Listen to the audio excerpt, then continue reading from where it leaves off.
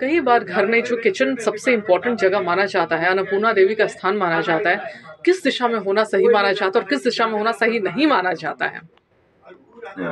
Kitchen का जो है वास्तविक जो स्थान होता है, वो अग्निकोण में होता है साउथ ईस्ट में। वो अग्नि तत्व का जगह है। तो अग्नि तत्व के जगह में अग्नि का कार्य जो हम करते हैं तो वहाँ पे क्या होती है, उसकी सकारात्मकता बढ़ जाती है।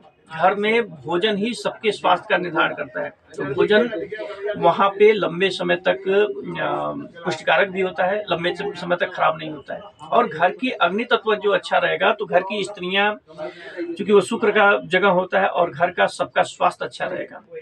और किचन स्पेशली जो है, जल तत्व के दिशा में नहीं होना चाहिए। मतलब उत्तर दिशा में जो है, अगर उसको आप कर दीजिएगा तो वो ऊर्जा को बिगाड़ देता है। जल को क्या करेगा? अग्नि जो है, खराब कर देता है। ठीक है? तो किचन हमेशा जो है कोशिश करना चाहिए कि आग्नेय कोण में ही रखें और उत्तर दिशा से पश्चिम दिशा से इससे क्या नकारात्मक प्रभाव पड़ सकता है? अगर मान लीजिए किसी ने गलत बना दिया तो गलत, क्या हो गलत दिशा में बना दिया अगर तो पहले अग्नि तत्व गड़बड़ होगा तो अग्नि तत्व में क्या होता है? लिक्विड मनी पूरा होता है। घर में फाइनेंस का प्रॉब्लम होना चालू हो जाएगा। घर की स्त्रियाँ बीमार रहना चालू करेंगी और घर के सभी लोगों का स्वास्थ्य गड़बड़ होगा। अगर मतलब सबसे पहले स्वास्थ्य पे आपको देखने को स्वास्थ्य पे क्योंकि भोजन से सीधा जुड़ा हुआ ना किचन।